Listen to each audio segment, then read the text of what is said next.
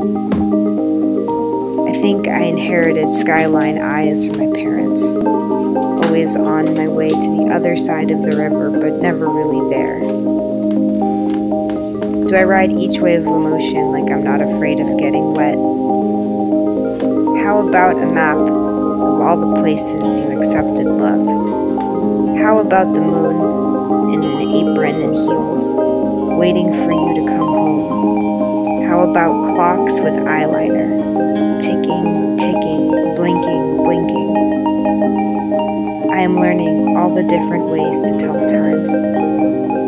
I put my head down on a grassy knoll and I tell myself how I really feel. I look at your pretty new girlfriend's feet and her sandals. Maybe she is also a clock.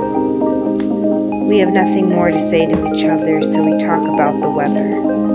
The weather didn't ask to be talked about. The weather is a friend we dragged here and whom we owe a soda.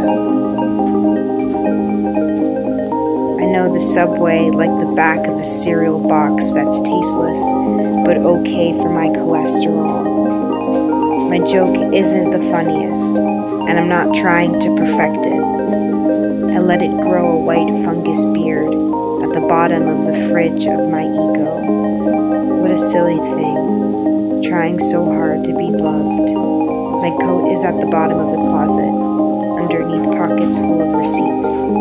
We peeled off the glue that kept us together. There aren't even fun flakes anymore. My friends make plans about making my room yellow after I move, and I suggest no other color. I like yellow.